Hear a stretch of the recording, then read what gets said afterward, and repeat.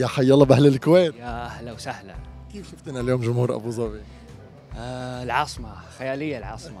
آه أهل الإمارات نحبكم كثير ومبسوط وسعيد إني على عتبة مسرح أبو ظبي.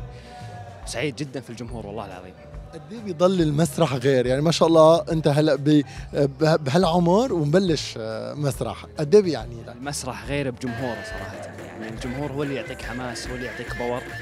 فالممثل من يصعد على عتبة المسرح ويشوف هالجمهور وناس يحب يحبونه. يعني شعور جميل والله. خبرني ليش صنع بالكويت انتشرت هالانتشار الفظيع؟ مع أنه أول ما انطلقتوا كنا مفكرين إنه صنع في الكويت خلص شيء رح يكون ضمن الكويت فقط. بس ما شاء الله الأرقام بالملايين و...